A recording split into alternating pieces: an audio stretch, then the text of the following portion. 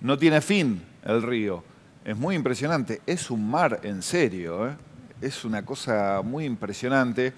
Los que tenemos conocimiento que alguna vez hemos pasado por ahí, la verdad es que nos sorprende increíblemente lo que es. Así está el salado en esta mañana, en la zona de Pila, Lezama, situamos Castelli también, un poquitito más al sur Dolores. Ahí se ve el móvil de Cueme Noticias, en ese punto estamos trabajando y fíjate con qué claridad este enorme trabajo del equipo de QM Noticias en el móvil, la gente de Multishow que siempre nos da una mano para tener estas postales que nos muestran con tanta claridad.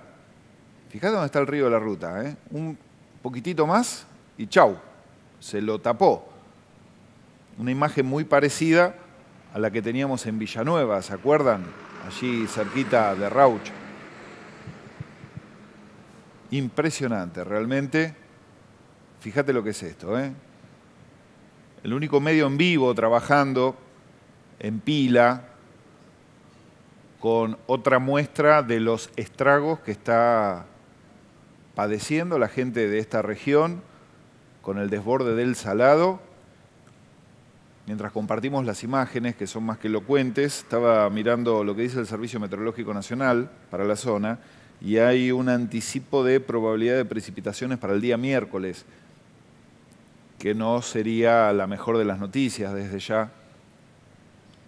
Esto es el paraje El Destino, lo que estamos viendo en este momento, un puñado de casas sobre la ruta 57, esa es la ruta que une Lezama con pila, precisamente, un lugar donde muchísima gente aprovecha el fin de semana para ir a pasar el día, los amantes de la pesca para tirar la caña, claro, un panorama triste, podemos decir, sí. en este lugar. Son fantásticas las imágenes, Mari, ¿eh? que han logrado nuestros compañeros allí con el móvil de QM Noticias.